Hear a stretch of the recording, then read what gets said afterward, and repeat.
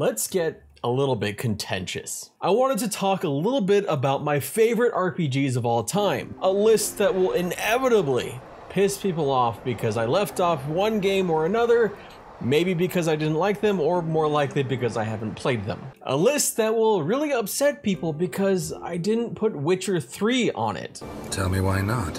Is it the scars? Or Chrono Trigger. I'm like pre-gaming the the upset at this point. Like I'm just like you know, just like we're preparing you for this list, especially when I get to the the one that number five. Hmm. But honestly, it's all valid. All that anger and frustration is valid because even when I was trying to make this list, when I was trying to think of just five RPGs, I ended up mad at myself. I ended up mad at myself with my final list because how could I leave off Neverwinter Nights? How could I not include Final Fantasy X, an RPG that meant so much to me?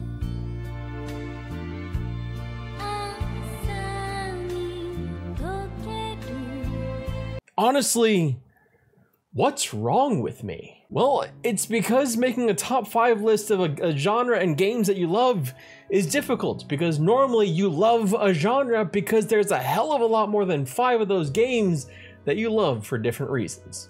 Some of those reasons may be because they they arrived at a certain point in your life because they have this intrinsic like value to you as a person because of what they meant to you, what kind of how what kind of escapism they offered and when. And that's definitely like what my number 5 is. I think in general just they just they just can't suck. The games just can't suck if they're going to be in the top 5. But that's enough of me yammering on. Let's actually talk about the top 5 games. With the fifth pick, I really wanted to add a game that was personal to me, and perhaps a little bit unexpected. One of those that wouldn't be on many people's lists, if, if really any, but meant a lot to me. Hell, at first, I was even considering adding Legend of Legaia, the JRPG, to this list as number 5, because of how much that RPG meant to me personally when I first played it. But I went with a slightly different game. Baldur's Gate Dark Alliance. Released in 2001 from Snowblind and Interplay, Baldur's Gate Dark Alliance is a spin-off of the main Baldur's Gate series and counts two games to its name, as well as similar games in the EverQuest IP, Champions of Norath 1 and 2. It's a real-time action RPG with top-down perspective that takes place on the Sword Coast of Faerun, starting in the famous city of Baldur's Gate. But unlike the other games, the companions you would find in this game would only be your friends if you managed to do co-op, and you wouldn't actually create your own character. Still, Baldur's Gate Dark Alliance very quickly introduces you to the Elf Song Tavern, a diabolical plot complete with rats, undead, early 2000s era villains, and maybe even a beholder or two. It's a very solid ARPG with surprisingly engaging combat and a story you want to unfold. While the sequel may have improved on just about every aspect of the first game, from the combat to its storytelling, this has to take the fifth spot largely because of how it got me into not just gaming, but RPGs. In a lot of ways, this is kind of where it all started. But perhaps best of all, it was ported to PC 20 years after it launched on console back in 2021 by Black Isle Studios, so you can now actually grab it on Steam if you want to play it and you never have. The one downside here is that the game is best as a co-op ARPG, and unfortunately that's a bit more difficult, especially without online co-op. It still stands as one of my favorite games of all time though, with a satisfying RPG gameplay loop of gearing up, getting stats, and plowing ahead with a, through a world-changing narrative. It's also one of the only games out there that's actually good and not just using the name Dungeons & Dragons, where you can play as Drizzt Do'Urden, because you can do so by going through a kind of like going through all of the difficulty modes. It really, Baldur's Gate Dark Alliance had a new game plus before that was really a thing, I guess. But this next game, this next game, number four on the list, this one actually probably is on almost all of your lists. And the only gripe might actually be just how low I have it. Diablo 2. Honestly, this fourth spot was tough. I considered a few games here, like Jade Empire, which got a nod. So did Mass Effect. Even other ARPGs in the same vein, like Titan Quest, popped into my head. but I couldn't rightfully release this video without this ARPG on the list, especially when I snuck a Dark Alliance into it. What more do I need to say about Diablo 2 than it was the epitome of peak Blizzard? Alongside Warcraft 3, which would launch two years later, this was an era where Blizzard was putting out epic hits with incredible storytelling and fantastic gameplay loops. Diablo 2 especially stood out to me as in some ways it felt kind of adjacent to another genre that I loved so much at the time, the MMO. It was essentially an RPG that was online. You could trade with other players and do things like that that I didn't know was a possibility in a single player RPG. But Diablo 2 allowed that. They created a whole ladder system. They created the modern day idea of what an ARPG could be by putting this new world together and really following up their original entry of Diablo and just kind of improving on almost everything. Diablo 2 for many people stands out as perhaps the best ARPG of all time, and that's perhaps why they were so eager to make a Diablo 2 Resurrected, which holds up extremely well if you want to actually give that game a try now. But the funniest thing about this, about me having Diablo 2 on this list, is I am actually not the ideal player for Diablo 2. I am much more interested in just having a single story and being done. I'm not interested in grinding gear or even really like the power fantasies that go along with a Diablo 2 or, or really a ARPG style game. I'm much more interested in like compelling stories that I really want to get immersed in that narrative. So it's a little bit interesting that, you know, I, I, found so much enjoyment in Diablo 2 back then when I first started playing it. And I do think for me, it was that that slight, slight tenuous, tenuous connection to the MMORPG genre. Because at the time I was playing a shit ton of EverQuest. I was definitely not a power player of Diablo 2.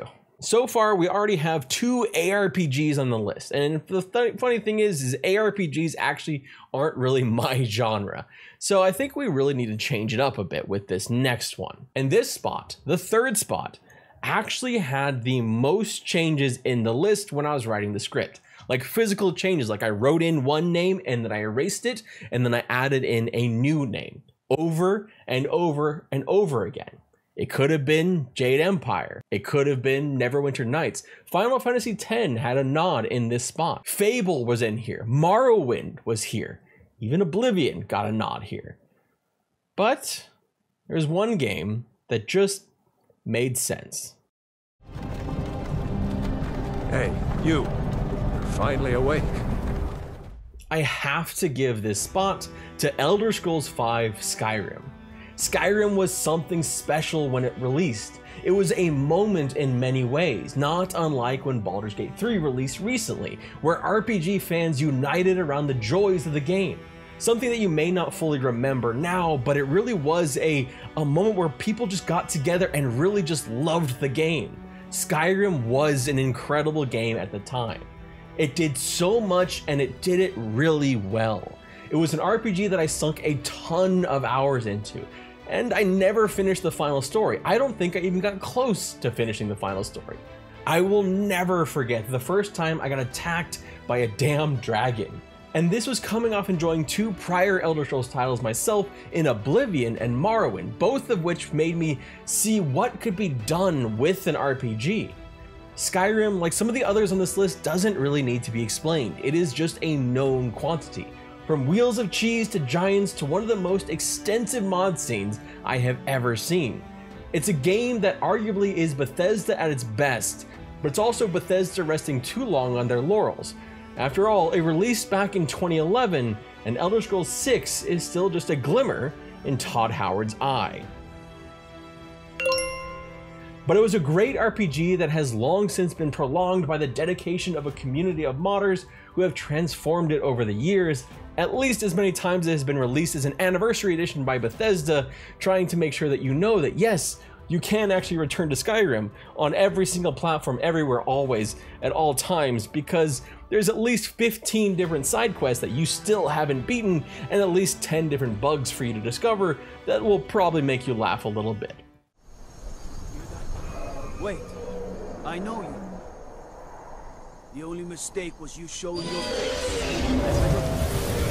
That's something I'm supposed to deliver. I read on the internet that our games have had a few bugs. I did. I read it on the internet, so it's true. and that uh, sometimes it doesn't just work.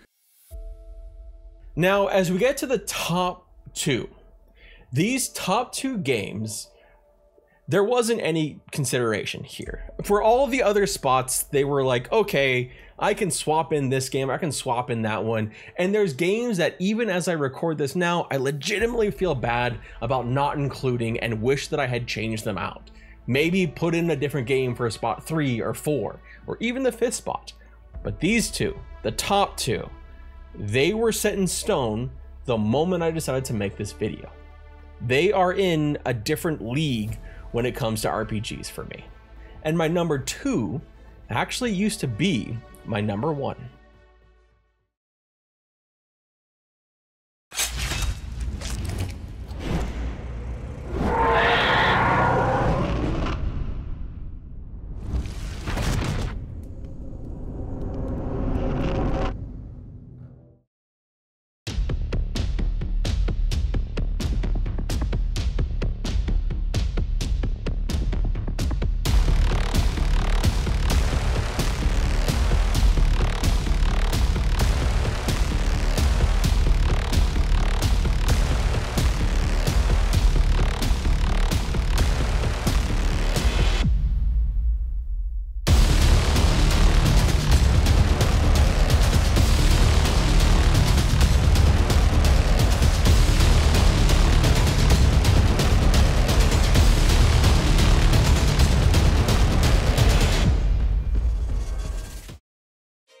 Dragon Age Origins was my number one RPG for well over a decade. It was a game that I so fondly remember despite being quite bad at it because I found the story so compelling, so inviting, and so revolutionary at the time it launched. It remains in many ways the epitome of a CRPG to me, and it did what other RPGs hadn't in the past. It made me care about the characters within the world. Years later, I still remembered Alistair and Morrigan, something that couldn't be said for others. In part, this may simply be a visual thing, as this game introduced me to a more cinematic RPG experience. But a lot has to be said about the writing in the game. When I revisited DAO years later, I fell in love all over again, but for different reasons. Despite the frequent crashes playing it on PC at harder difficulties, I really began to thoroughly enjoy and appreciate the depth and complexity of combat within the game. It's built upon the architecture of many older games, including those by BioWare themselves like Baldur's Gate 1 and 2. A kind of thing that BioWare over the past has kind of gone away from. They, Dragon Age Origins is not the kind of game that BioWare will continue to make. But interestingly enough, there might be a small French studio that's actually kind of taking up the mantle a little bit. Uh, but more about that in just a little bit. First, we have to talk about number one. What RPG could possibly dethrone Dragon Age Origins?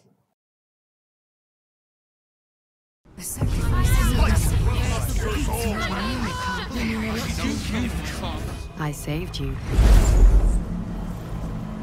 And I'm here to save you again. Baldur's Gate 3 feels like a generational RPG.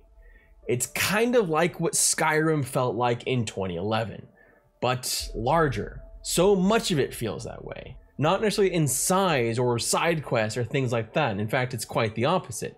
But how they pushed the CRPG genre into a full cinematic experience the context of Larian making the game in the open for years and still being underrated, then going on to sweep awards and earn an insane number of them.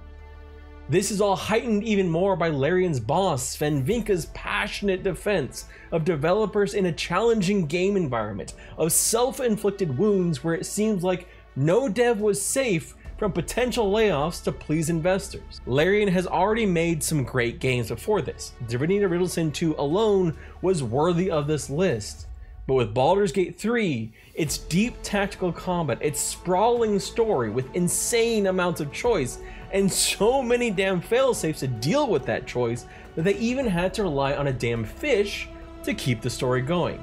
it set a new standard for companion stories and cinematics that perhaps won't be topped until another mega budget RPG comes along like Mass Effect 5, or perhaps the next RPG is coming from Larian Studios, of which we are going to get two.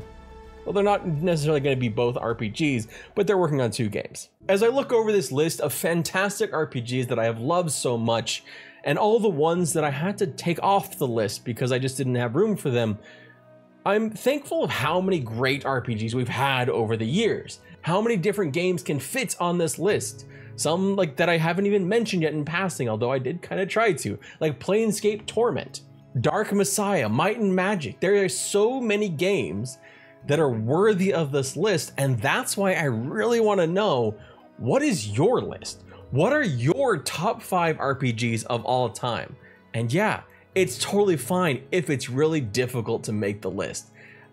Um, you're not going to be graded on this exam. This isn't. It doesn't matter if your list is a completely eclectic list. If if, if you basically just put Disco Elysium five times, fine. That's your favorite RPG, and that's great. But let us know down in the comment section down below.